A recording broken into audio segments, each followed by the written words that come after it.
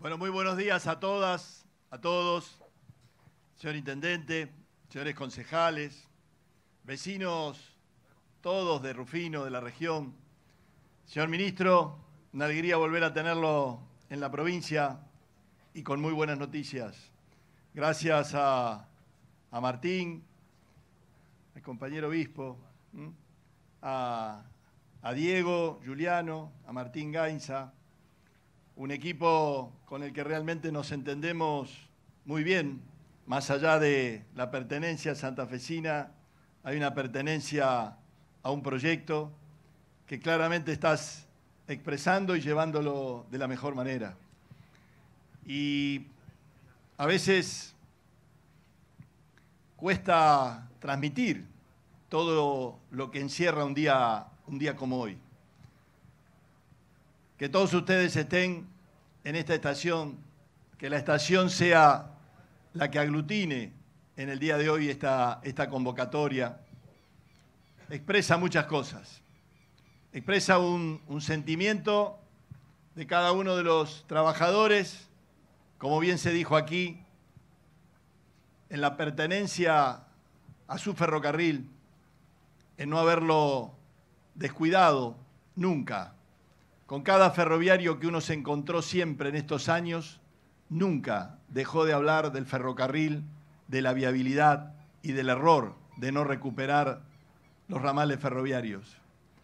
De cada uno de los vecinos que tiene la nostalgia de escuchar al tren, de escuchar su ingreso,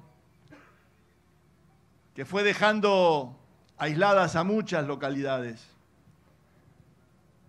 y cuando necesitamos que el país se ponga en marcha, cuando necesitamos crecer en la generación de, divisas, claramente aparecen las posibilidades del potencial de nuestro sector agropecuario, de nuestro sector agroindustrial, de nuestro sector agroalimentario. Y allí tenemos la capacidad, el conocimiento, la fortaleza de nuestros productores para hacerlo.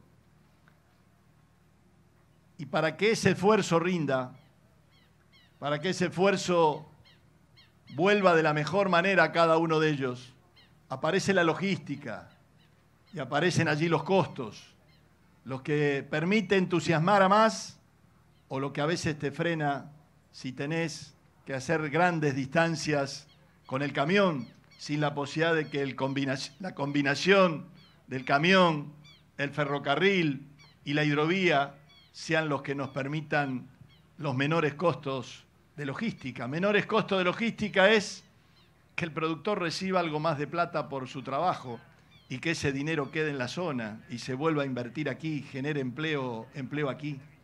Por eso, el día de hoy, sin duda, que es un día, que es un día de fiesta para todos los que estamos aquí, para todos los que saben que esto se está haciendo y también para muchísimos que seguramente no tienen la idea de lo que está pasando en este momento en Santa Fe, aquí en Rufino, pero son argentinos, son santafesinos y santafesinas que desean oportunidades, que quieren que el país se encauce en su instancia de desarrollo y fundamentalmente poder hacer visible algo que pandemia mediante no todos pudimos ver. No todos tenían la mirada en estas cosas. La teníamos en la preocupación del día a día, de la existencia de camas, del número de contagios. Empezó después la etapa de vacunación. Pero de esos 22 meses de gestión, 19 han sido en pandemia. Y no se arranca hoy. Y esta es la gran virtud que el gobierno nacional y el gobierno provincial pueden expresar claramente hoy en esta obra. Esta obra no se empezó ayer, ni empezó cuando se liberaron algunas de las cosas en los últimos tiempos por la disminución de casos. Hay mucho trabajo detrás de esto, hay mucho esfuerzo en pandemia detrás de esto. Esto nos posibilita tener una obra en cada pueblo y en cada ciudad de la provincia, que la obra pública esté ayudando a generar empleo. Pero este en particular tiene una motivación adicional.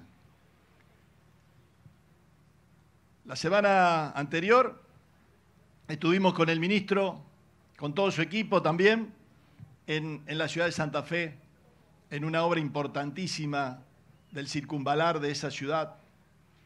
En estos momentos hay una inversión solamente desde ese ramal, desde estas obras, desde la posibilidad de invertir también en el galpón aquí en, Rufino, para seguir con reparaciones, en San Cristóbal, de 6 mil millones de pesos. Y claramente nos entusiasma porque esos 6 mil millones se suman a toda la red del ferrocarril Belgrano, que cruza todo nuestro territorio, Santa Fe, San Justo, San Justo, San Cristóbal, San Cristóbal al norte, todas vías nuevas. Tenemos la gran satisfacción el orgullo de ser en este momento la provincia que cuente con la mayor cantidad de kilómetros de vías nuevas, precisamente por esa decisión del presidente de acelerar las inversiones. Y eso, sin duda que es trabajo, son rieles, son locomotoras, es material rodante. Y aquí Martín decía que los números no siempre tenían que dar en verde porque había una composición social.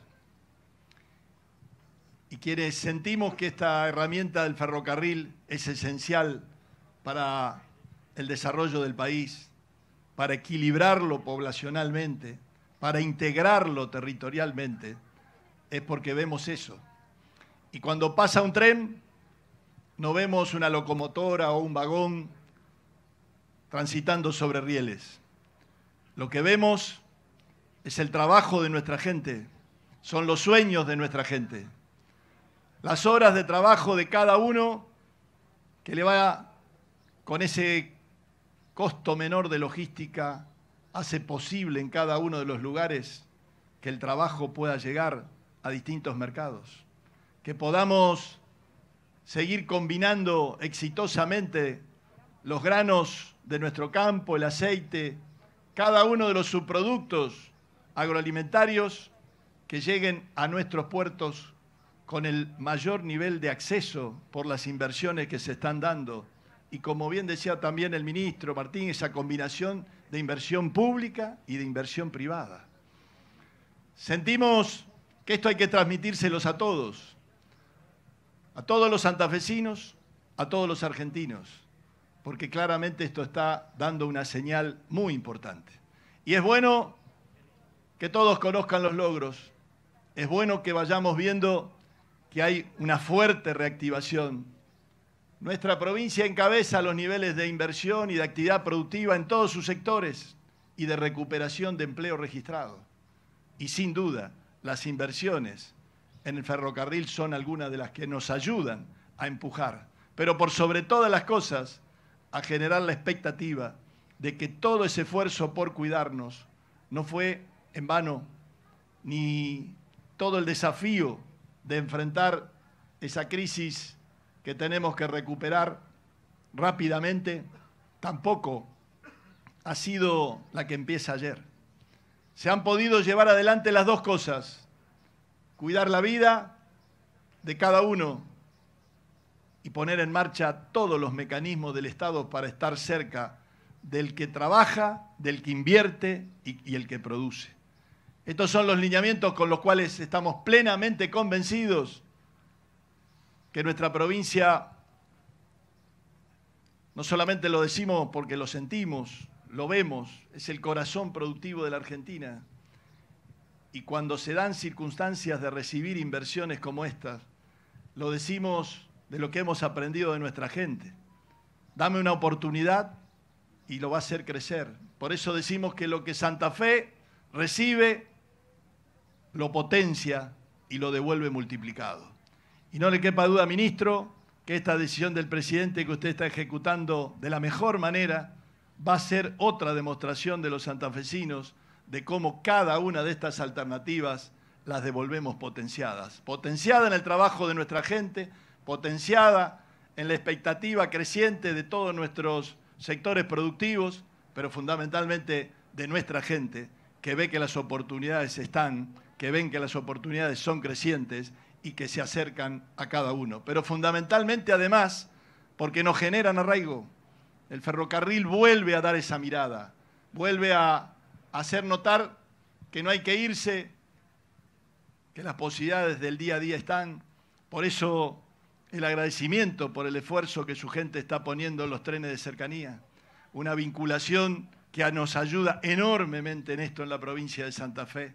Rosario Cañada, Santa Fe Laguna Paiva, Rosario Empalme. Son algunos de los desafíos que le van a permitir a nuestra gente movilizarse de otra manera, hacerlo de manera mucho más sustentable, pero fundamentalmente acortando las distancias y generando ese vínculo que habíamos perdido. Seguramente situaciones como estas, del tren llegando a cada una de nuestras estaciones, va a ser algo que se va a repetir. Y eso es lo que bueno, eso es lo que entusiasma, eso es lo que motiva, porque claramente con estas cosas uno ve que Santa Fe está de pie, que la Argentina se está poniendo de pie. Muchísimas gracias.